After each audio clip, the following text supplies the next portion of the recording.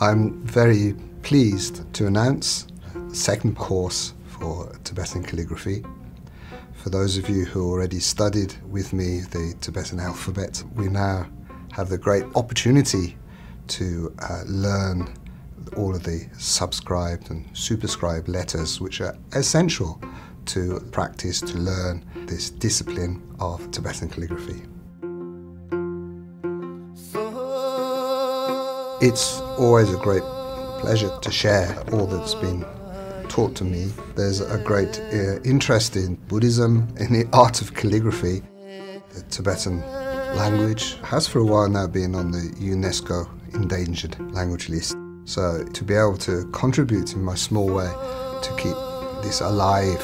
But not only that, is to learn a, a discipline, to train the mind, to tame the mind, by writing in this way, by studying in this way, it helps to focus in this rather busy and overburdened world. So it's the careful, considered script. You have to think about each element of the letters mindfully. It comes from here rather than just in thinking about it. And we're taught to do the visualization, the image of the Buddha or the deity, which as we know, are based on very uh, formal rigorous proportions, grid lines, to give this perfect harmony of sense of the Buddha, of the enlightened mind.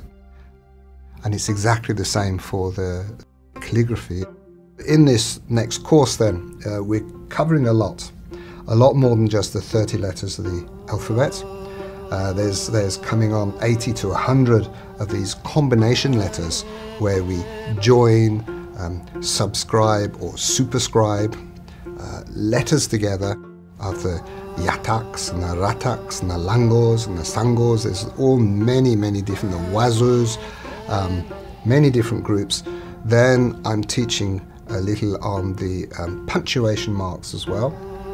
Quite useful if we are reading the Tibetan manuscripts. We conclude the course writing and explaining the meaning as well of the, the famous Mani Mantra, the embodiment of loving kindness.